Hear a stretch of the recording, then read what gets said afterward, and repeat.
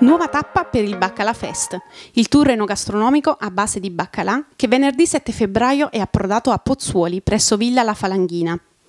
L'evento è stato organizzato in collaborazione con Toti Lange, presidente dell'Accademia Partenopea del Baccalà, e Nino De Filippo. Stasera siamo qui a Villa La Falanghina, eh, un nome storico, prestigioso eh, della ristorazione dell'area flegrea e quindi dell'area metropolitana di Napoli, luogo di eccellenza e di grande, eh, di grande charme, eh, per, per, una cena a quattro mani eh, con lo chef resident de, della Falanghina e con il nuovo e valente chef baccalaiuolo eh, De Filippo per degustare un menù a quattro romani eh, perché grazie alla collaborazione con te e con tanti amici stiamo facendo varie tappe in cui eh,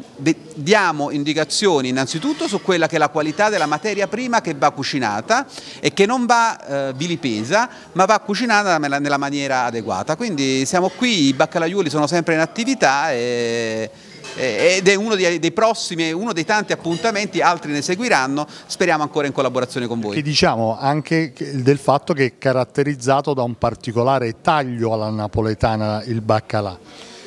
Sì, sia il baccalà che lo stoccafisso, in particolar modo proprio lo stoccafisso perché in effetti le altre regioni fanno una lavorazione molto più facile rispetto alla nostra in quanto noi dividiamo lo stoccafisso in quattro parti, prima lo dividiamo in due e poi ancora in due. In effetti ogni pesce diventa quattro parti e le parti sono il termine napoletano è ucurniel e apanzetta come abbiamo scritto nel disciplinare, in effetti sono il filetto dello stoccafisso e la pancia dello stoccafisso. La cena a quattro mani è stata preparata da resident chef di Villa La Falanghina Edoardo Estatico e da resident chef di ristorante Bianco, specialità baccalà pesce e Alfonso De Filippo.